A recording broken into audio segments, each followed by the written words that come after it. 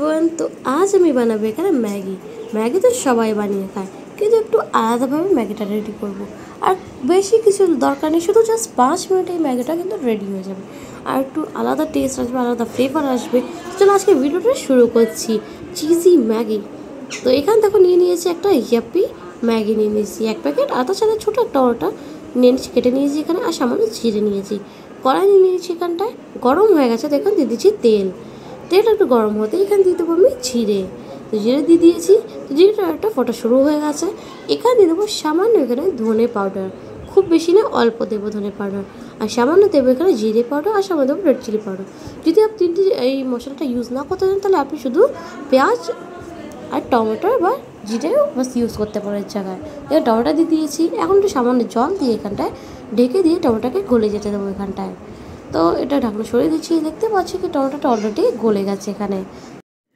তো এখানটা আমি সামান্য জল আরও দিয়ে দেবো কি যেহেতু এখন ম্যাগিটাকে আমি এখানে বয়েল করব। তো এখন দিয়ে দিচ্ছি আমাদের ম্যাগি। এখন ম্যাগিটা দিয়ে সামান্য লবণ দিয়ে দিচ্ছি। লবণ দিয়ে এখানে একটু ঢেকে দেবো কি ম্যাগিটা বয়েল হয়ে যাক।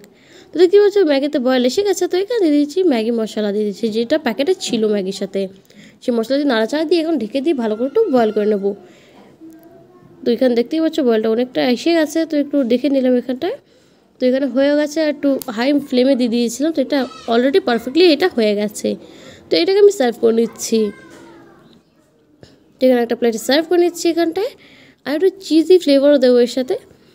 তো এখানে একটা চিজ কিউব নিয়ে নিয়েছি, তো এখন এটাকে গ্রেড করে দেবো। আর যদি আমার ভিডিওটা পছন্দ হয়ে থাকে, তাহলে লাইক কমেন্ট শেয়ার করে দিও সাবস্ক্রাইব করে দিও চ্যানেলকে আর বেল প্রেস করে দিও। তো দেখতে পাচ্ছ কত চিজ দিয়ে দিয়েছি।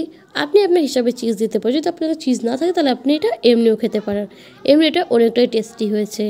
দেখতে পাচ্ছ চিজটা পুরোটা এখানে মেল্ট হয়ে গেছে। একবার অবশ্যই রেডি করে আমাকে কমেন্টে জানাবে কি এই ভিডিওটা তোমাদের কাছে কেমন লেগেছে। তো এখনও জন্য টাটা বাই বাই